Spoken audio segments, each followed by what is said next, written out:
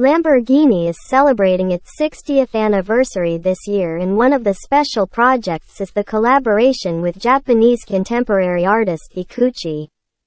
The resulting art pieces are the Time Gazer exhibit made using parts from anniversary models, and the Huracan STO Time Chaser underscore 1, 1, 1, 1, 0, 0, which is a cyberpunk-inspired one-off.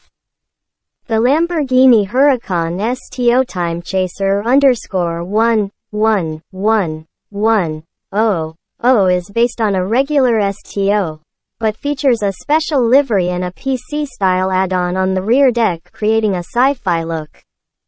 The 1, 1, 1, 1, 0, 0 in its name is the binary code for the number 60, another reference to the age of the Italian brand. The other piece is the Time Gazer, built using original Lamborghini parts. The large-scale exhibit looks like a high-end gaming rig complete with a chair, keyboards, screens, oversized fans, and computer hardware mixed with car parts.